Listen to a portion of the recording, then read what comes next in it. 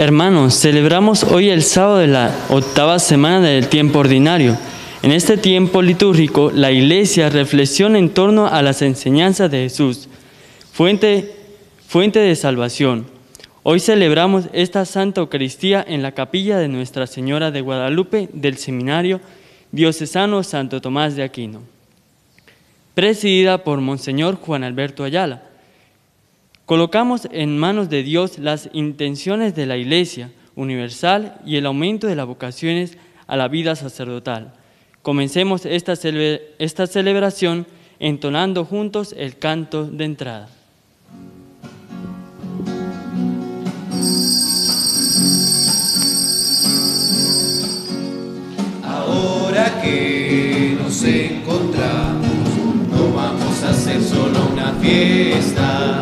Ahora que estamos reunidos, vamos a hacer algo más. Vamos a hacer algo más. Vamos a la gente que en su silencio vive su miseria y su frustración. Vamos con sus brazos a hacer un puente por donde se llegue a un mundo mejor.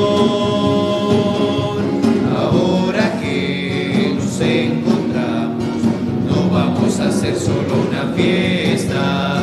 Ahora que estamos reunidos, vamos a hacer algo más. Vamos a hacer algo más. Vamos a juntar el dolor disperso de los que no tienen con qué cantar. Hacer un verso para arrepentirlos sin descansar.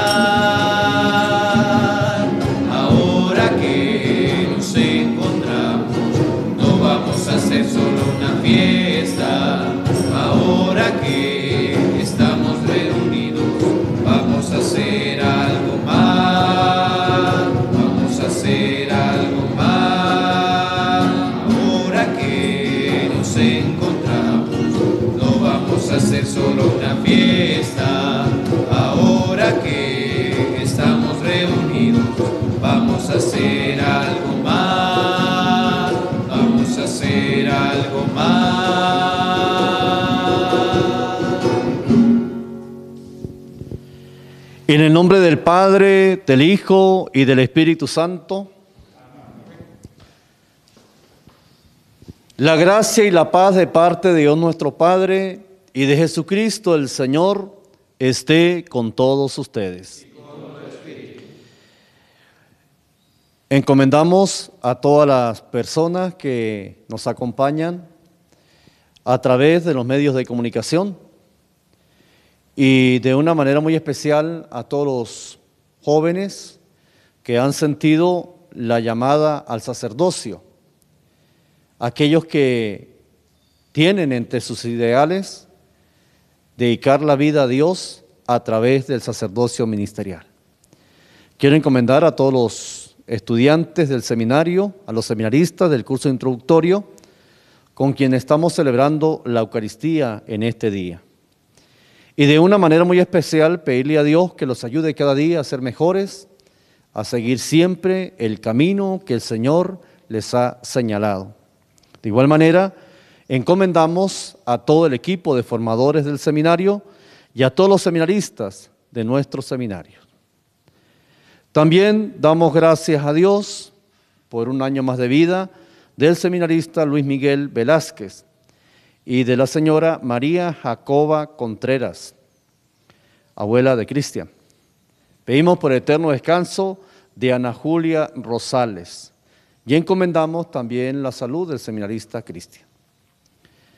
Para celebrar dignamente estos sagrados misterios, vamos a reconocer las faltas que hemos cometido y vamos a pedirle al Señor que nos perdone.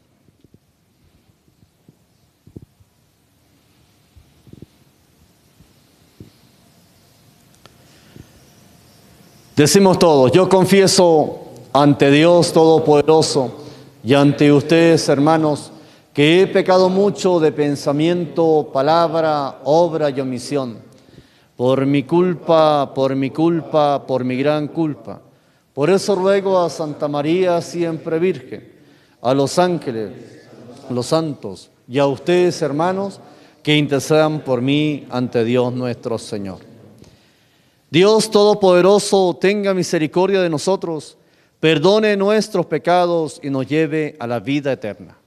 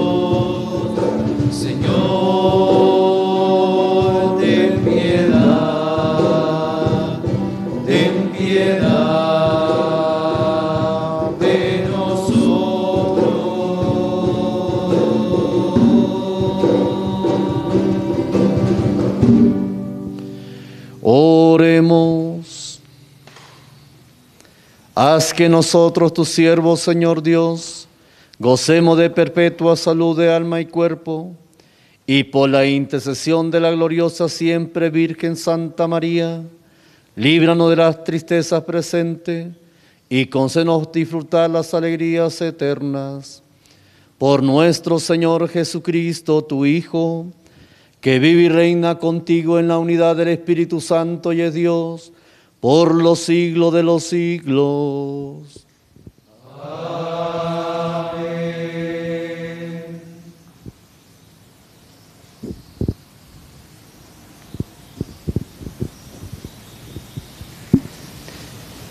Hermanos, la liturgia, la liturgia de la palabra nos invita a recordar y reconocer que la autoridad de Jesús viene dada por el Padre del cielo y que toda sabiduría tiene su fundamento en Dios, creador de todas las cosas. Escuchemos con atención y disfrutemos del pan de la palabra. Lectura del libro del eclesiástico. Doy gracias y alabo y bendigo el nombre del Señor. Siendo aún joven, antes de torcerme, deseé la sabiduría con toda el alma. La busqué desde mi juventud y hasta la muerte la perseguiré. Crecía como racimo que madura y mi corazón gozaba con ella. Mis pasos caminaban fielmente siguiendo sus huellas desde joven. Presté oído un poco para recibirla y alcancé doctrina copiosa. Su yugo me resultó glorioso. Daré gracias al que me enseñó. Decidí seguirla fielmente. Cuando la alcance no me avergonzaré. Mi alma se pegó a ella y no apartaré de ella el rostro. Mi alma saboreó sus frutos y jamás me apartaré de ellas. Mi mano abrió sus puertas, la miraré y la contemplaré. Mi alma la siguió fielmente y la poseyó con pureza. Palabra de Dios. Los mandatos del Señor son rectos y alegran el corazón.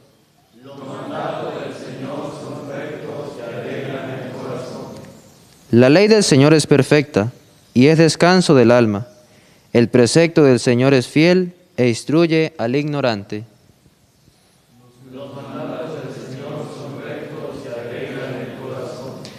Los mandatos del Señor son rectos y alegran el corazón. La norma del Señor es límpida y da luz a los ojos. Los del Señor son y corazón. La voluntad del Señor es pura y eternamente estable. Los mandamientos del Señor son verdaderos y enteramente justos.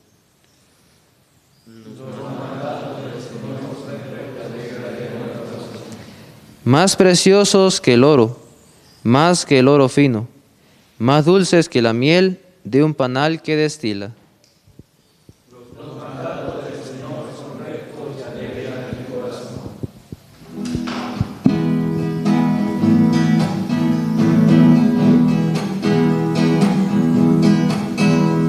Queremos escuchar tu voz, oh Jesús. Vivir tu amor en plenitud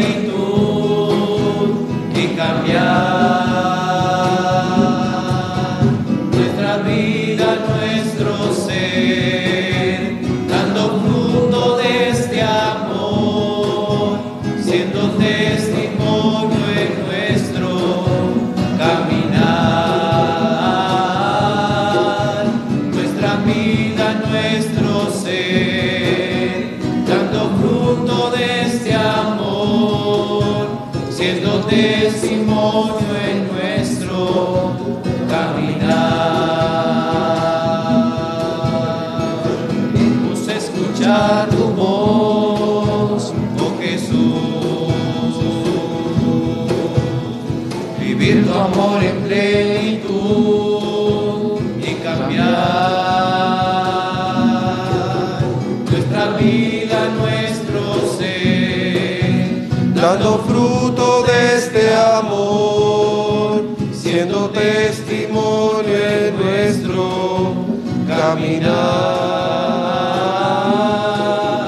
Nuestra vida, nuestro ser, dando fruto de este amor, siendo testimonio nuestro caminar.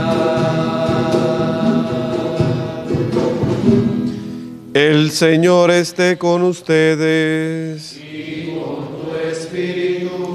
Lectura del Santo Evangelio según San Marcos.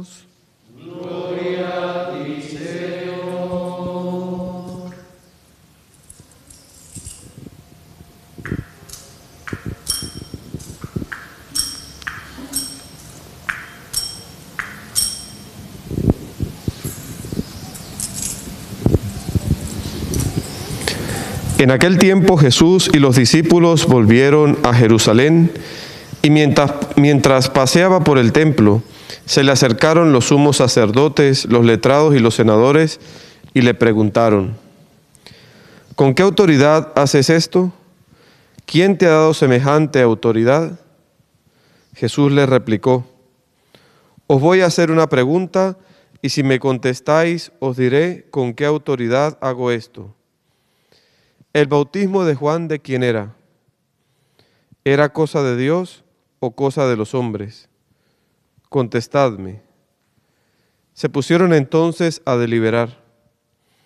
Si decimos que es de Dios, dirá, ¿y por qué no le habéis creído? Pero como digamos que es de los hombres, temían a la gente porque todo el mundo estaba convencido de que Juan era un profeta. Le respondieron así a Jesús. No sabemos. Jesús le replicó, pues yo tampoco os digo con qué autoridad hago esto. Palabra del Señor.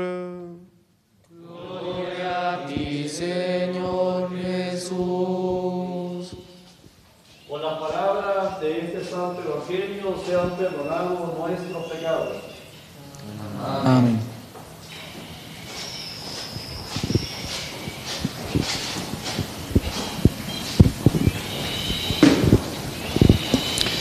Ven Espíritu Santo, llena los corazones de tus fieles, enciende en ellos el fuego de tu amor. Envía tu Espíritu para una nueva vida y se renovará la faz de la tierra. Oh Dios, que iluminaste los corazones de tus fieles con la ciencia del Espíritu Santo, haz que hallado por ese mismo Espíritu saboremos la dulzura del bien y disfrutemos de su vino consuelo. Por Cristo nuestro Señor.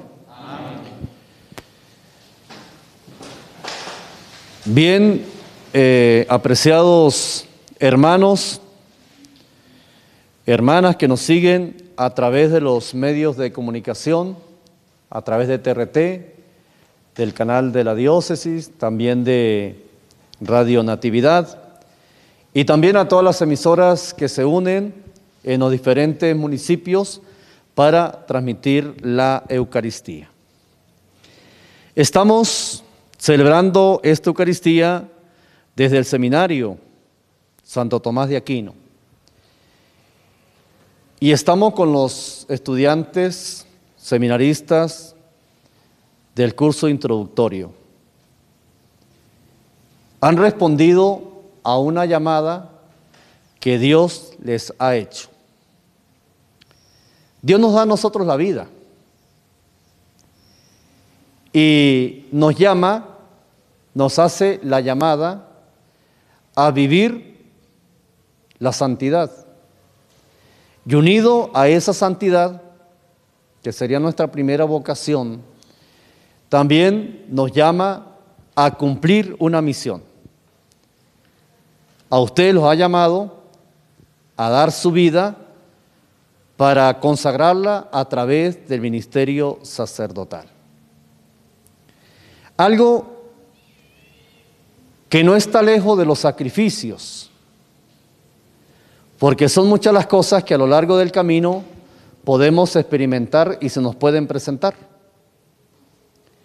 Pero en todo debemos crecer en la cercanía a Dios y aunque toque los sacrificios, pues también allí vamos a estar y allí iremos siempre hacia adelante.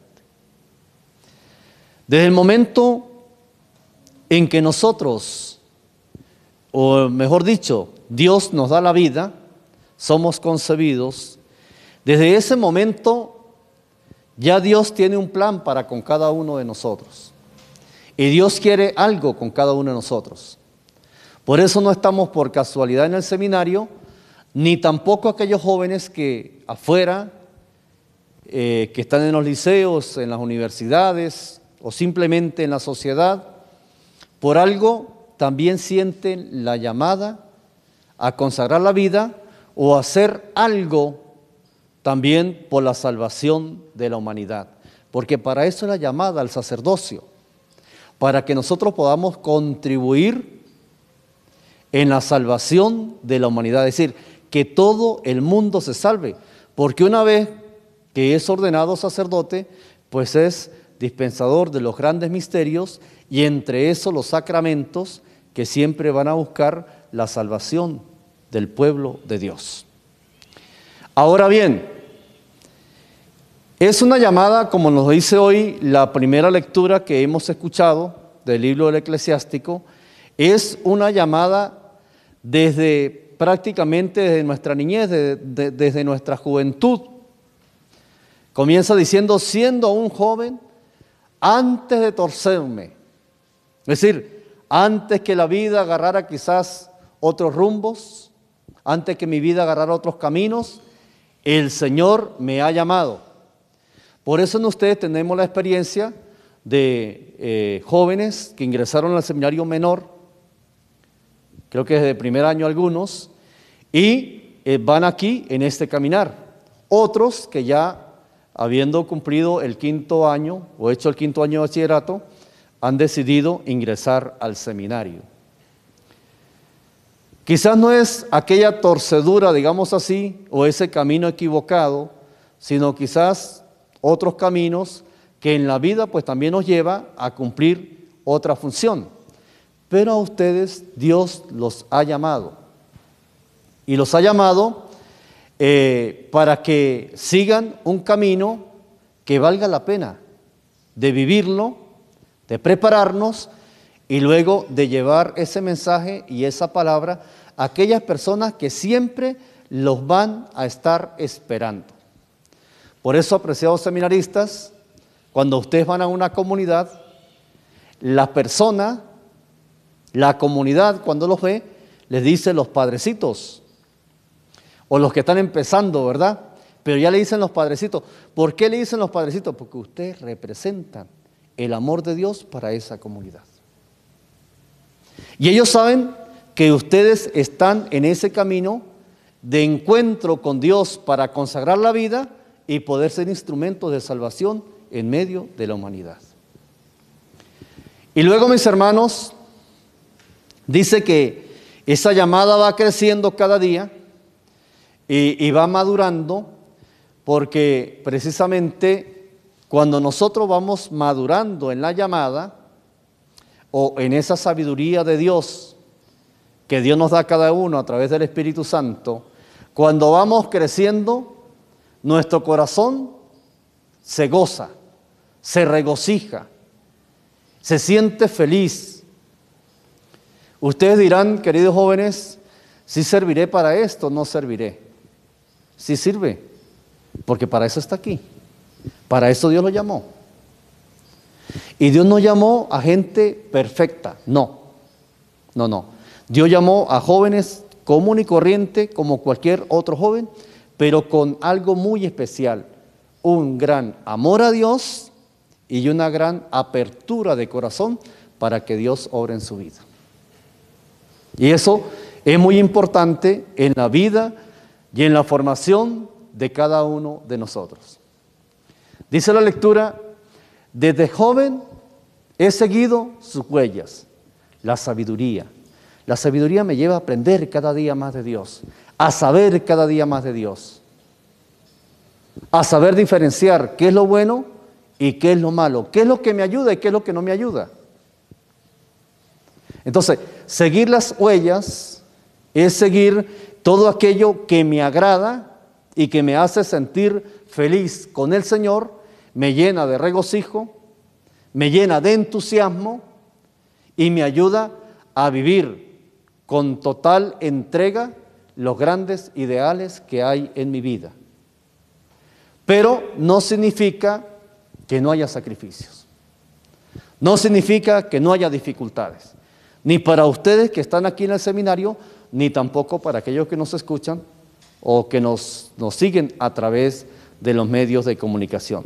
Siempre va a haber momentos duros, difíciles en la vida, pero sin embargo, ustedes tienen la oración del pueblo de Dios, tienen la gran compañía de sus formadores y también, claro está, del obispo, y también tiene la gran compañía de sus mismos compañeros que lo van animando y lo van motivando para que sigan siempre dando lo mejor de sí en todo momento. Dice que, dice la lectura, una persona totalmente disponible para abrazar el plan de Dios va saboreando cada día los frutos que la sabiduría le va proponiendo. ¿Y cuáles son esos frutos? La santidad, que es la primera llamada que Dios nos hace, luego la misión, luego el estar reconciliados, el estar en comunión con Dios, el vivir la gracia de los hijos de Dios, el ser libre ante estas decisiones. Que nada nos tenga que atar. A veces nosotros pensamos, ajá, y si dejo esto, y si dejo aquello, y si yo de repente hago esto y, trato de fingir, de decir alguna mentira. No, no, no. El Señor nos quiere libres y nos quiere fieles a su proyecto. Porque si somos libres y si somos fieles a su proyecto, Dios va haciendo la obra en nosotros, aunque haya alguna dificultad. Pero si no somos libres, ni tampoco somos fieles, mis hermanos, entonces comenzamos a autoengañarnos y escuchen esto, autoengañarnos. No engañamos a nadie. No engañamos a Dios ni vamos a engañar a los, hijos de Dios. No, nos engañamos nosotros mismos y nosotros somos los que vamos a sufrir. Una persona, en este caso, un hijo de Dios que es capaz de recibir la llamada y de responder a esa llamada, podrá experimentar lo que hoy nos dice el salmo responsorial. Los mandatos del Señor son rectos y alegran el corazón. Cada día nos vamos a sentir muy contentos y muy felices de lo que nosotros somos. Cuando ustedes van a una parroquia, cuando ustedes van a una comunidad, cuando ustedes visitan algún sector, ustedes ven la felicidad de las personas. ¿Y por qué las personas se sienten felices? Primero, porque ven en ustedes muchachos totalmente jóvenes, muy jóvenes, que están buscando ser instrumentos del Señor en el ministerio sacerdotal, que están respondiendo a una llamada y que quieren abrazar el plan de Dios para la humanidad, que es el que todos nos salvemos con la ayuda de los sacerdotes. Y se sienten felices también porque en ustedes también está el reflejo claro de sus hijos. Y entonces prácticamente los ven a ustedes allí echados para adelante, como decimos nosotros, amorosos en las cosas de Dios, personas fervorosas, personas piadosas, eh, jóvenes muy alegres, muy dispuestos, y entonces inmediatamente viene a, a la reflexión de esa persona, oye, ¿qué tal si mi hijo fuera así? Es decir, que ustedes se convierten, además de una palabra de estímulo y de ánimo para la feligresía, también se convierten en un punto de referencia para la juventud. Y hacia allá es hacia, hacia donde nosotros debemos caminar y seguir los pasos que el Señor nos pide.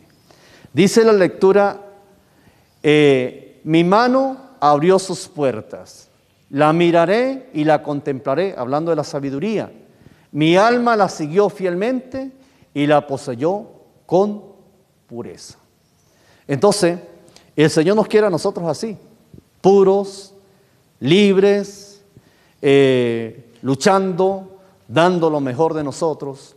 Y aquí entonces vendría la pregunta que muchos jóvenes se hacen en, en las comunidades, en las parroquias. Y yo también no podré eh, ser sacerdote. Comienza a despertar en ellos el deseo de consagrar la vida a Dios. Claro que también lo pueden ser. Y Dios también lo está llamando. Por lo tanto, la invitación es a que venga al seminario y con el ejemplo de ustedes y con la ayuda de los formadores, también pueda seguir el camino que ustedes han transitado ya, algunos durante cinco años, otros un año o medio año, mejor dicho, otros ya a punto de ordenarse, pero ese camino de prepararse para que Dios vaya haciendo la obra en cada uno de ustedes.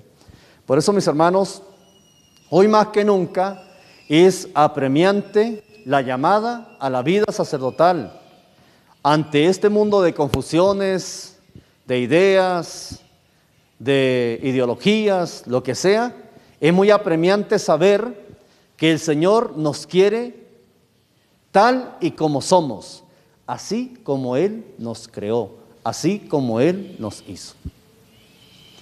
Y para eso necesitamos testigos que sean capaces de formar más con el testimonio y con el ejemplo que con las palabras.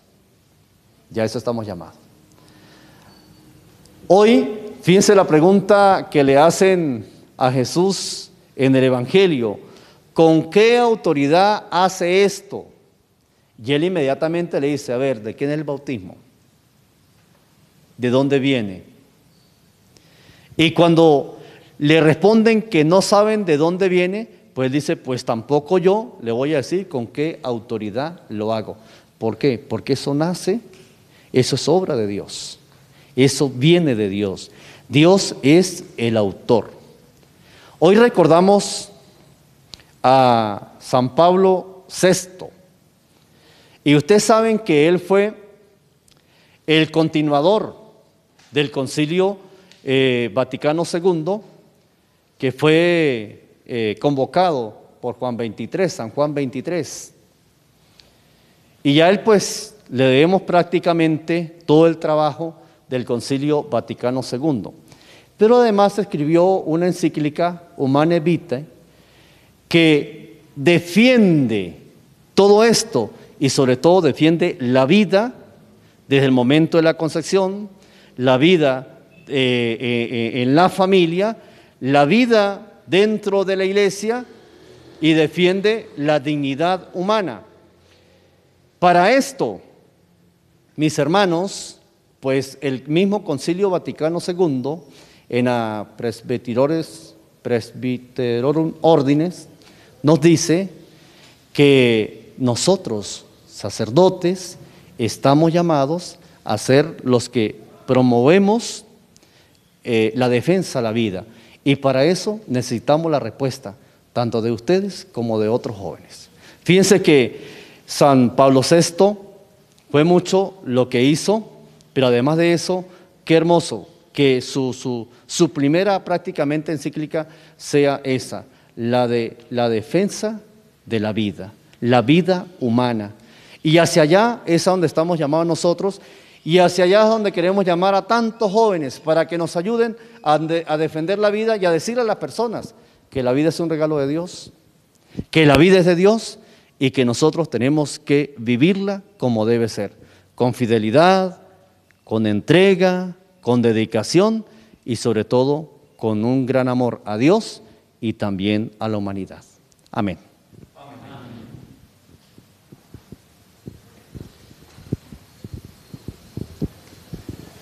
Elevemos a Dios nuestra súplica pidiendo por aquellas necesidades que tenemos en este día.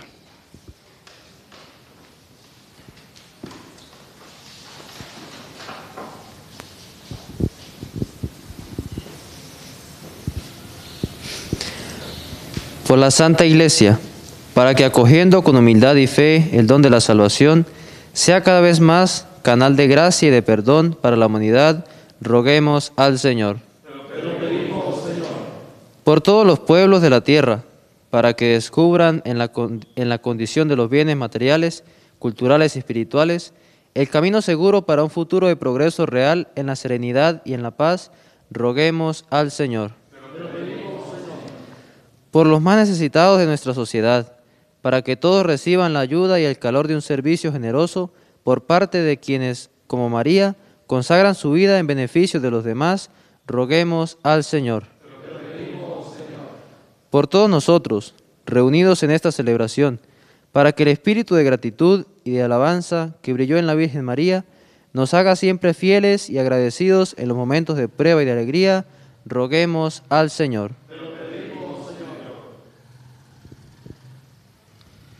Quiero encomendar a la familia de cada uno de ustedes, apreciados seminaristas, para que Dios los bendiga y los acompañe y para que el Señor ilumine su vida y sus corazones ante la entrega y la donación de un hijo para la vida sacerdotal. Roguemos al Señor. Por aquellos jóvenes que nos siguen a través de, los medios de comunicación, para que respondan al llamado del Señor a la vida sacerdotal, a la vida consagrada, para que no tengan miedo, para que se animen cada día más para que no dejen morir los sentimientos que laten en su corazón de, de, entrega a través de la vida sacerdotal, para que sean capaces de seguir el camino que el Señor les está señalando, roguemos al Señor. Por los promotores de las vocaciones sacerdotal y religiosa, por todas las personas que ayudan a nuestro seminario, por todas las personas que ayudan a los seminaristas también en sus parroquias, por aquellos que le brindan su palabra de ánimo, de motivación, por aquellos que les dedican tiempo, también los escuchan y además de esto, pues oran por ustedes, para que Dios traduzca todo esto en bendiciones, tanto para ellos como para sus hogares, roguemos al Señor. Padre misericordioso, tú que conoces nuestro corazón, ven en ayuda de la debilidad humana y por intercesión de María, Virgen orante, escucha nuestra súplica. Te lo pedimos por Jesucristo nuestro Señor. Señor, danos sacerdotes. Señor, danos sacerdotes, santos. Señor, danos religiosas y religiosos santos. Señor, danos familias cristianas santas. Señor, danos familias cristianas santas.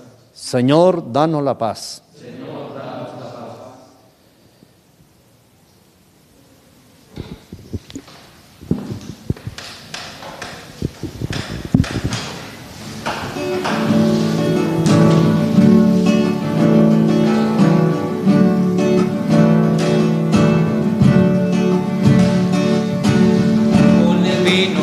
con el pan, yo quiero ofrecerte mi Dios, mis alabanzas, mi vida y mi ser. Esta tierra que lo dio, el hombre que lo trabajó, la mujer que lo amasó, acéptalo.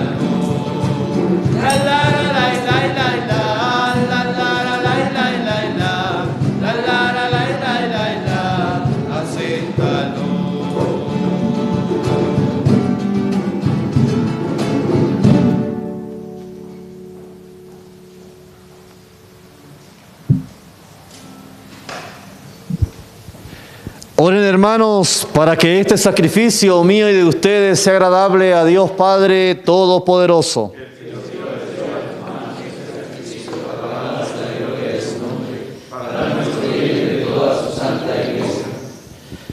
Recibe, Señor, las oraciones de tu pueblo junto con la oblación de este sacrificio, para que con la intercesión de Santa María, la Madre de tu Hijo, ningún buen propósito quede sin realizarse y ninguna de nuestras súplicas sea vana. Por Jesucristo nuestro Señor. El Señor esté con ustedes. Levantemos el corazón.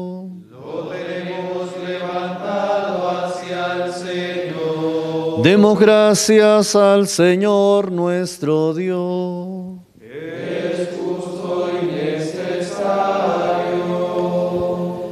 En verdad es justo darte gracias, Padre Santo, fuente de la vida y de la alegría, porque en esta etapa final de la historia has querido revelarnos el misterio escondido desde siglos, para que así el mundo entero retorne a la vida y recobre la esperanza.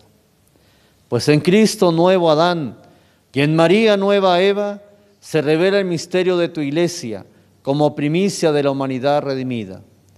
Por este inefable don, con la fuerza del Espíritu Santo, la creación entera emprende de nuevo su camino hacia la Pascua eterna. Por eso nosotros, unidos a los ángeles y a los santos, cantamos a una voz el himno de tu gloria. Santo es el Señor mi Dios, digno de, alabanza, a Él el poder, el honor y la gloria. Santo es el Señor mi Dios,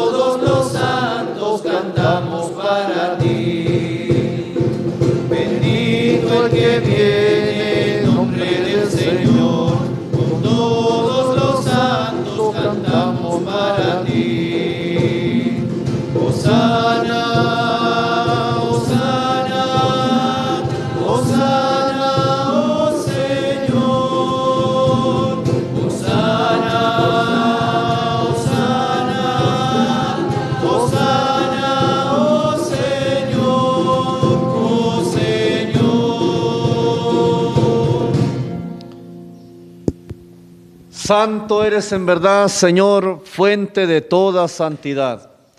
Por eso te pedimos que santifique estos dones con la efusión de tu Espíritu, de manera que se conviertan para nosotros en el cuerpo y la sangre de Jesucristo nuestro Señor, el cual, cuando iba a ser entregado a su pasión, voluntariamente aceptada, tomó pan. Dándote gracia, lo partió y lo dio a su discípulo diciendo, tomen y coman todos de él, porque este es mi cuerpo que será entregado por ustedes.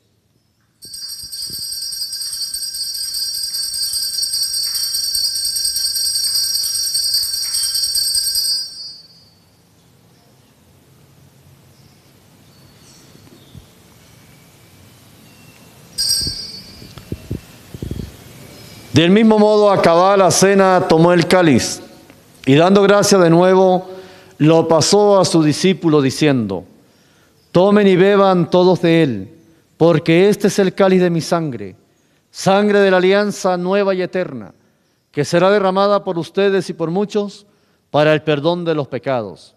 Hagan esto en conmemoración mía.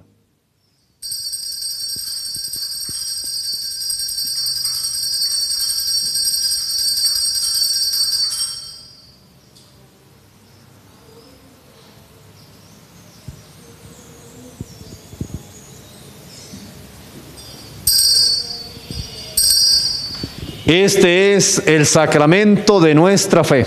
Anunciamos tu muerte y proclamamos tu resurrección. Ven, Señor. Así pues, Padre, al celebrar ahora el memorial de la muerte y resurrección de tu Hijo, te ofrecemos el pan de vida y el cáliz de salvación, y te damos gracias porque nos haces dignos de servirte en tu presencia. Te pedimos humildemente que el Espíritu Santo congregue en la unidad a cuantos participamos del cuerpo y sangre de Cristo. Acuérdate, Señor, de tu iglesia extendida por toda la tierra, con el Papa Francisco, nuestro obispo Mario, su obispo auxiliar Juan Alberto, y todos los pastores que cuidan de tu pueblo, llévala a su perfección por la caridad. Recuerda a tu hija Ana Julia, a quien llamaste de este mundo a tu presencia, y concédele que así como ha compartido ya la muerte de Jesucristo, comparta también con él la gloria de la resurrección. Ten misericordia de todos nosotros, y así con María, la Virgen, Madre de Dios, Nuestra Señora de la Consolación, San José su esposo, los apóstoles, San Pablo VI, el Beato José Gregorio Hernández, y cuantos vivieron en tu amistad a través de los tiempos, merezcamos por tu Hijo Jesucristo compartir la vida eterna y cantar tus alabanzas.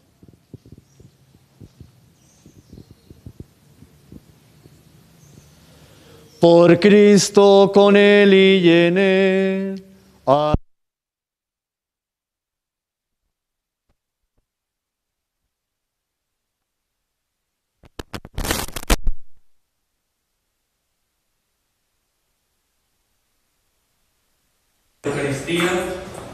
signo de reconciliación y vínculo de unión fraterna, cantemos juntos la oración que el Señor nos ha enseñado.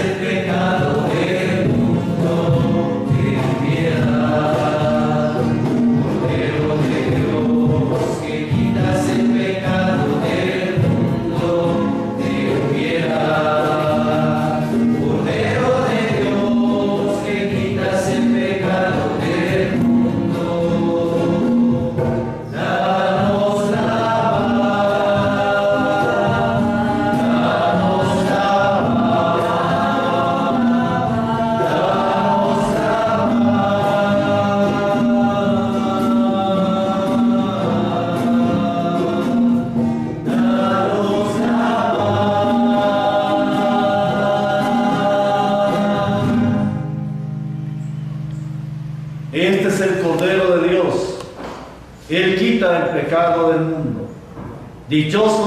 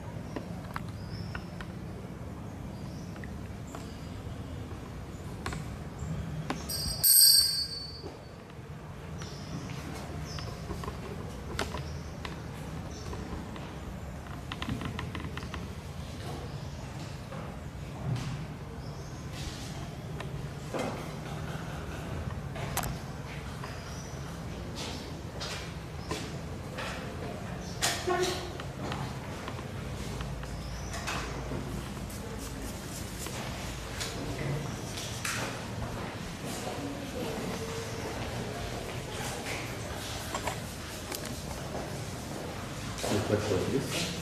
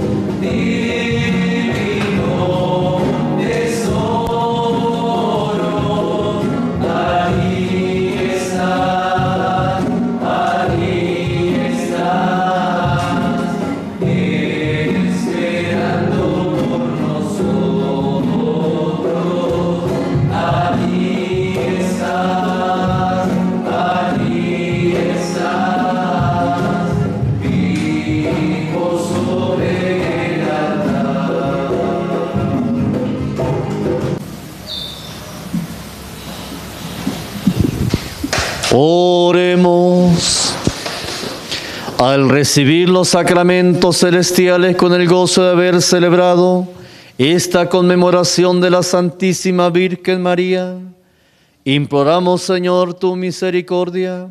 Haz que a imitación de la Virgen podamos dedicarnos dignamente al servicio del misterio de nuestra redención. Por Jesucristo nuestro Señor.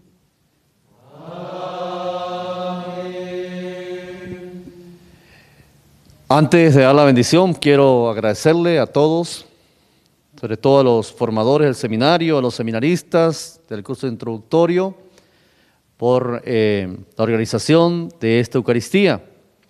Y también eh, quiero pues enviarle un mensaje muy especial, también en nombre de nuestro obispo, Monseñor Mario Moronta, a todas las personas que nos siguen a través de los diferentes medios de comunicación, para invitarlos a que nos ayuden en la promoción de la vocación sacerdotal, ayudar a las vocaciones.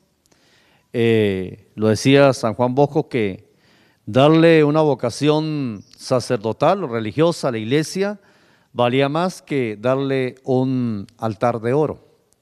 Entonces, quiero invitarlos para que nos ayuden orando y promoviendo las vocaciones en medio de las comunidades donde viven tantos fieles, tantos hermanos eh, que nos acompañan en la actividad de la iglesia.